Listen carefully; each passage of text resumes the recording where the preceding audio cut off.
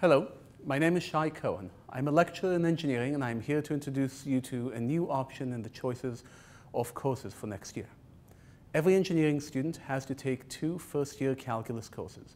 Those in the Core 8 take MAT 186 and 187, while those in ECE or Track 1 have MAT 196 and 197. This year, we are offering you the choice to take calculus as an online course. If you choose APS 162 and 163, Calculus for Engineers 1 and 2, there will be no lectures or tutorials to physically attend.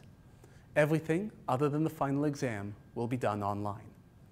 Using Blackboard, the central system that is used by all of your courses for posting materials, we will put up short lectures every week designed for an online course and taught by me.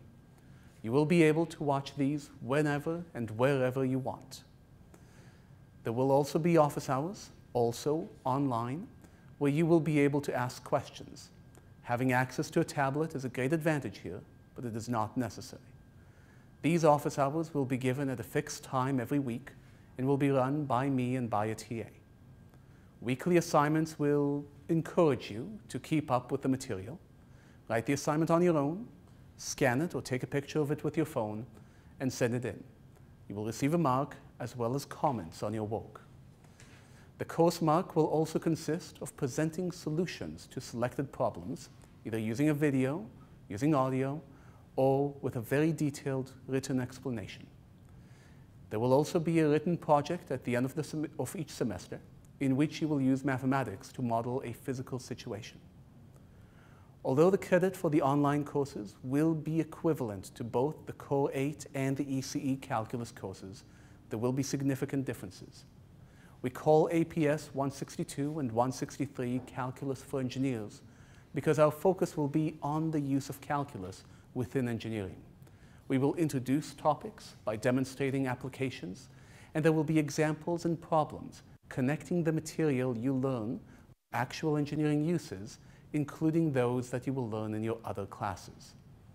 And, I promise, there will be absolutely no examples where a farmer learns calculus in order to fence a field rather than figuring out how much land he should enclose and then ordering the right amount of fencing. We will learn how to think like good engineers, including details to see why this is a brilliant piece of design, this is a bad one, and this is not a real sport. Let me be honest about something. Your schedule for the next year is close to 9 to 5. Having three lecture hours and one tutorial removed from this schedule does not open up a lot of free time.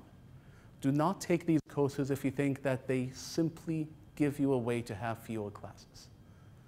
Between the weekly assignments, the presentations, and the writing project, these courses will require as much work as any of your other classes. However, they will hopefully show you a way of thinking you may not have been aware of. I will ask you to work hard. In return, I will help you to see mathematics not as a set of tools used in engineering, but as a method of thinking that will help you in the rest of your career. If you have any questions about this course, please contact me at sh.cohen at utoronto.ca.